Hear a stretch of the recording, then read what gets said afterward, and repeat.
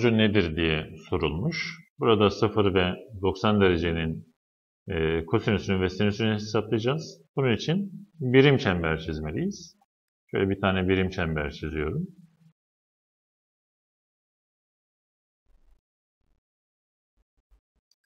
Şimdi şurası 0 derece, burası 90 derece, 180 derece, 270, şurası da 360 derece.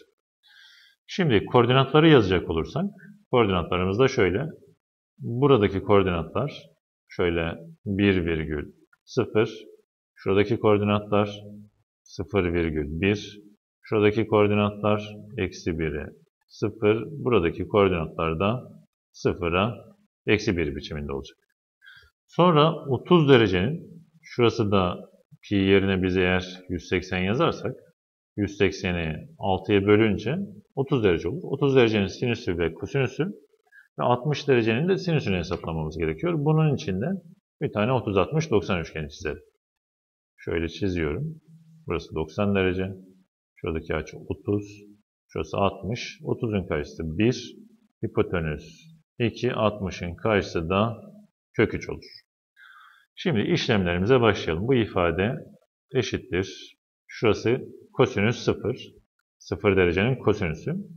Birinci, pardon 0 burasıydı. 0 derece. 0 derecenin kosinüsü birinci bileşen oluyor. Yani kosinüs 0 şu olacak. 1.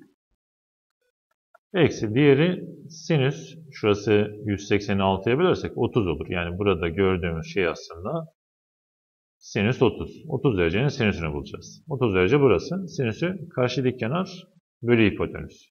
Yani 1 bölü 2 olur. Bölü. Şimdi 90 derecenin sinüsü şurası. 90 derece burası. Sinüs de ikinci bileşen olacak. Yani o da 1 olur. Art 30 derecenin kosinüsü. 30 derece burada. Kosinüsü komşu dik kenar bölü hipotenüs.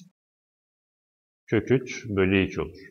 Sonra 60 derecenin sinüsü. 60 derece şurası. Sinüs karşı dik kenar bölü hipotenüsten kök 3 bölü 2 olur.